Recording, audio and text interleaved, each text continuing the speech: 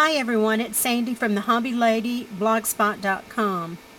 Welcome to another short take video.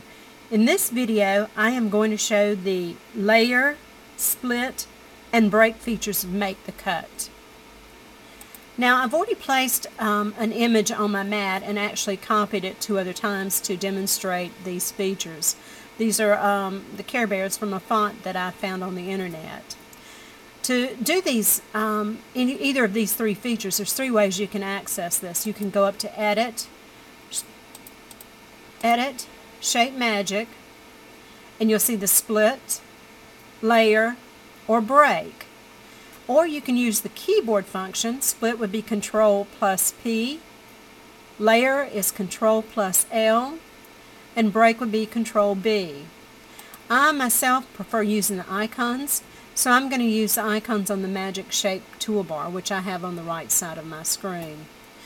I'm going to select this first image and I'm going to show you what um, the layer feature actually does. When you select your image, you're going to find the layer button, the fifth button down on your toolbar, and click on it. Then you'll need to click off of the image so that you can move it. But if you'll notice, the layer feature actually puts uh, two if you'll see here, they're light gray dotted lines, two squares around your image. That's giving you the two layers. So if you move the top image over, you've got a shadow image or a background image, and you've got your pieces image. So that's what layer does. It gives you the two different layers.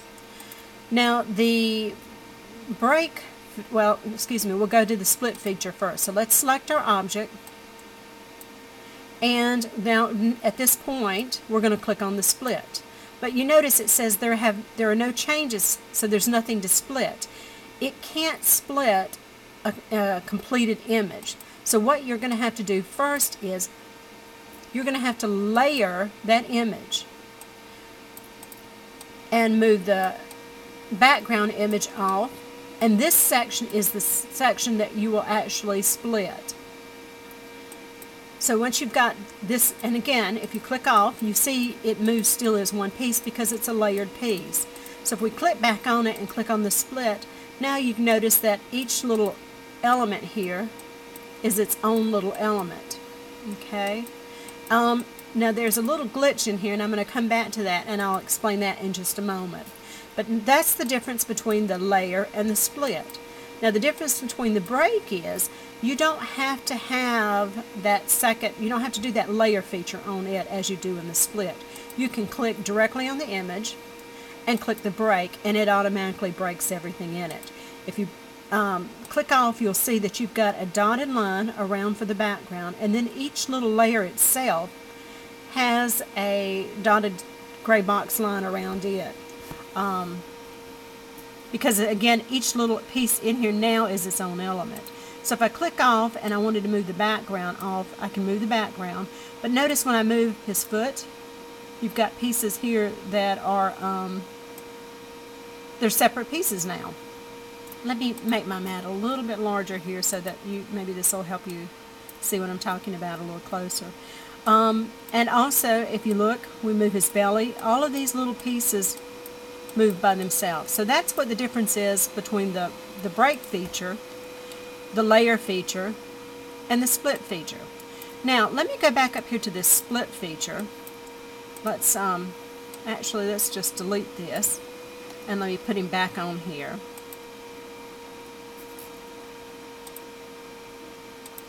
And do this again and let me show you what's going on with this. Alright, so we're going to, we've got our piece selected and we're going to layer him and we're going to move the background off. Now again, it's at this point it's layered. Now in this layer, if you'll notice, and let's just make my mat a little bit bigger here so that you can see what I'm working with. Notice in this layer that there's a little another little piece, another little element right here inside of this circle here, which is on his arm.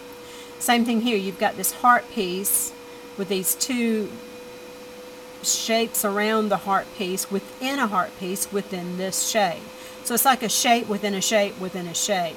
For some reason, when you do this split feature, there's a glitch that it gets rid of those pieces, but we don't want it to get rid of those pieces. Um, Andy, the maker, make the cut, it knows about this problem, and he's trying to work a fix on this with the next version that comes out. But for now, I'm going to show you how you can fix that. Um, again, you basically, um, let's see if we've got him split. We I did the undo key to put him back to the layered feature. So now before we do this, I'm going to go ahead and hit the break feature instead. But I don't want all those little pieces. So what to do what you're going to do next is click off the image and you're going to click in this section here. So I'm going to hold my shift key down. You notice how the red heart is, uh, or the heart is actually outlined in red. I'm going to click on it, click on the, oops, we moved it a little bit. Click on the pieces behind it that I want in it, and the outer circle. Now I'm going to go back up to my join, and it joined it, and it put those pieces back like I want it to be. Um, and then you can basically do, you can join these pieces here back. And, and then you don't, it's almost, they're again separate like this. So actually, let's see if we can do it with it, if we joined it all. Uh, if you join it all and you don't do it individually, you see that it puts it all back together as one piece. So you're going to have to actually do these individually. Let me undo back to that point. And you see, once I, if I join a section by itself, clicking on it, hit join. Let's see, with this one, because this, this whole piece here, that didn't quite work. So there's a fix around this also, that I love this layers properties box. So if you're looking at this and you're not quite sure if it's not grabbing pieces within itself, you can find you can find that over here in your layers property box. Let's say that I click on this piece here, which is this red, the arm and the leg is all together. And somehow or another, um, I'm going to hold my shift key down and I'm going to try to click in here, but I can't tell whether that's got both of those two pieces in. I can look over here on my layers property box let me move the camera so you can kind of see that. And I can find those pieces. The pieces that I have selected will be light gray on the layers property box. So it looks like with this, it did pick up the circle within the circle and it's got the where did it go the arm leg portion but there's a piece missing right here for the leg so we want to click on it. See, and then if I've clicked on it, again, you should be able to find it over here in the layers section box. And it, I'm still holding the shift key down this whole time I'm talking so that it selects all of that. There's the two pieces. And again, uh, there's my layer, um, my arm and leg section.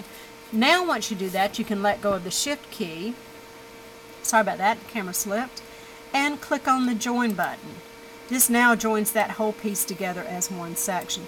And it still keeps my inside piece where that split took it apart.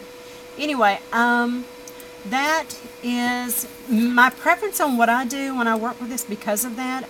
I usually end up doing the break feature more so than the split feature um, just because of the inside little detail pieces. But again, um, this is a matter of preference, you know, what works best for you once you play around with Make the Cut that's what you'll, you know, you just kind of work it and play with it and whatever works best for you is how you're going to um, work with your images. Anyway, that's another um, short take video tutorial and I hope you've learned something from this and uh, come back and check me out again. I should have some more and have a great day. Thanks. Bye-bye.